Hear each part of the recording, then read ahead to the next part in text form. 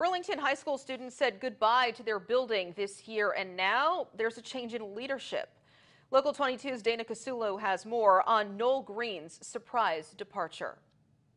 Burlington High School families found out Noel Green, who had been acting principal, resigned late Friday. This came as a surprise to both the administration and Superintendent Tom Flanagan. Oh, I feel sad that uh, Principal Green has decided to to resign and to move on from Burlington and, and Burlington High School. Flanagan says he's still not sure of the exact reason, but believes Green was frustrated. I was surprised though because I, I was planning to nominate him for the principal BHS uh, full principal position. He was the in, sitting in the interim position. As of Monday, an interim position was posted and will be up for 10 days. Internal candidates in Burlington schools are eligible to apply. For the next school year, a nationwide search will launch for a full-time principal. For the time being, assistant principal Lauren McBride is acting principal. So I am incredibly grateful and um, and humbled to be asked to assume this position of leadership here at BHS um, at this time. So I'm I'm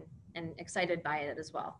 McBride says it was important to step up and she's ready to help our school community and our students and our families and our faculty and staff just deserve as much consistency during this time as absolutely possible. McBride's focus will be maintaining the structures that have been put in place by Principal Green. Making sure that we continue with the with the important planning and the um, rollout of downtown BHS, which is um, really a, a, huge project and a vibrant project um, that's that's moving right now. McBride has one message to anxious BHS students. We are moving ahead and we are going forward and we are going to be stronger together and, and we got this. The school hopes to have students in the downtown building by early March. Dana Casulo, Local 22 News.